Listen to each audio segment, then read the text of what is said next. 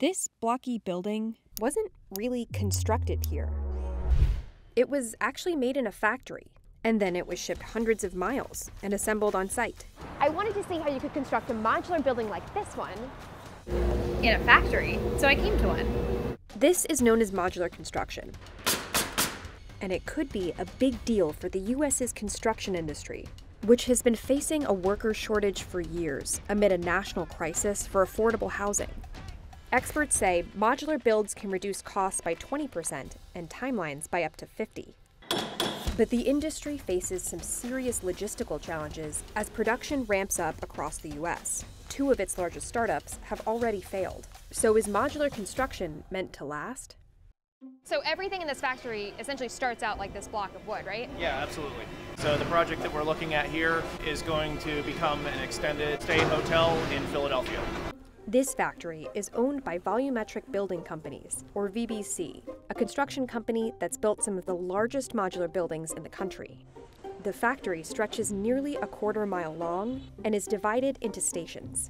Here, workers build units one at a time that will later fit together to make an entire building. To build one of these modular units, it all starts with the flooring. Next, they put the walls up. They'll put in drywall and electrical. And then lastly, they'll add the finishing touches. As they come together, they make their way down the factory by connecting rail line, kind of like a massive conveyor belt. And things here move fast.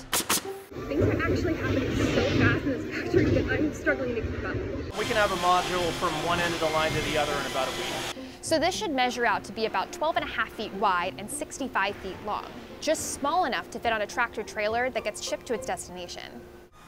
On site, Workers combine the units, install utilities, and add finishing touches, so it looks like any other building inside. We actually design all of our modules to be structurally independent, to transport via road for long distances, and to be lifted by a crane.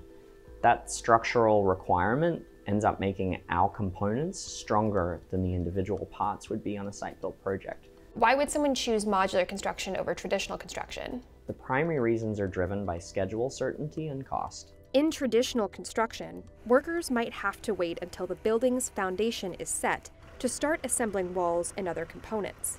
But with modular construction, workers can be building the foundation on site and the modules in the factory at the same time, speeding up the entire process. This project was finished in 22 months, about half of what the construction schedule would have been should it have been built on site.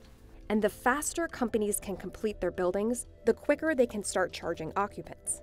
Modular companies can also buy raw materials in bulk, which can be an advantage over traditional construction.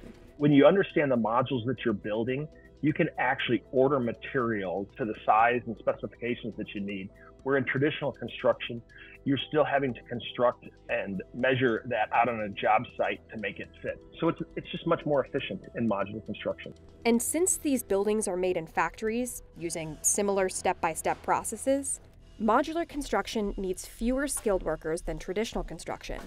That comes at a critical time, since the construction industry still struggles from a worker shortage, even as the number of construction jobs rose in 2023. We don't have a lot of people going into the trades the way that we did in the 50s, the 60s, and the 70s. You can train people much faster in modular construction because they're working on a short set of rote tasks. As we lose our skilled workforce over the next decade, modular will become more utilized in almost every environment.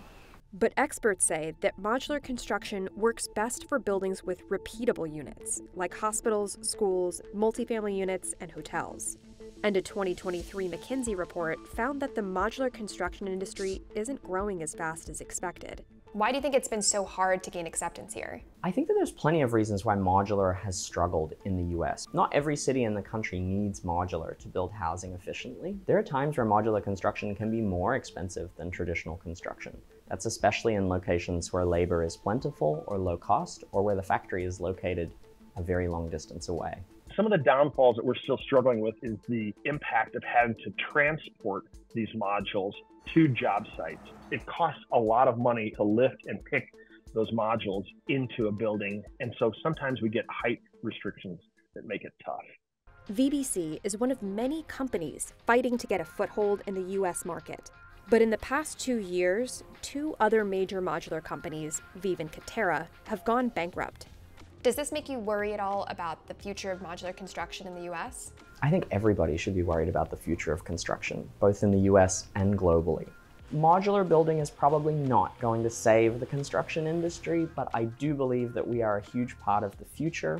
The first guys through the wall often get bloodied in some way. We're all learning and progressing because of the things that Katerra and Skender and Veev have done. We've produced 6,000 units over the last decade, uh, which is substantially more than almost any other company in this space, startup or otherwise. I think what we have to really focus on for modular construction for it to make the next wave is to use it for the asset types that it's really suited for. If we can find locations where we can build these modular systems that are close to the site, there's some advantages, if you will, then that really make it much more advantageous than traditional construction.